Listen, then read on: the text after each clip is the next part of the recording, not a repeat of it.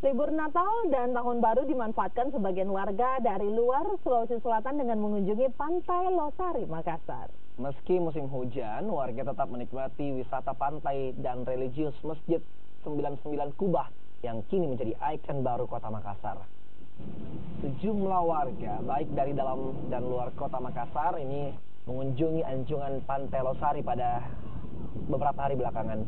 Meski habis hujan, namun pengunjung masih tetap menikmati suguhan pemandangan pantai.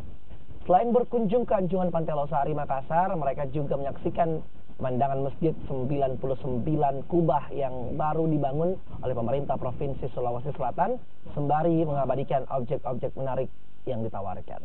Mana? Takalar. Makassar Pak? ya? Iya di luar Makassar. Pak kenapa memilih ini Pak? Tempat pantai Pak? Ah, perasaanku kalau pantai itu lebih segar ah, dan lebih terasa liburannya terasa di sini. Ah, Kalau kita tahu sudah berapa kali Pak ke sini Pak? saya baru baru beberapa kali. Pak di sini Pak tadi bersama dengan keluarga keluarga. Ada berapa orang tadi Pak lima enam delapan orang Delapan orang. Iya. Memang sudah sering ke sini Pak atau dalam rangka apa ke sini? ya dalam rangka refreshing ya. Ya, liburan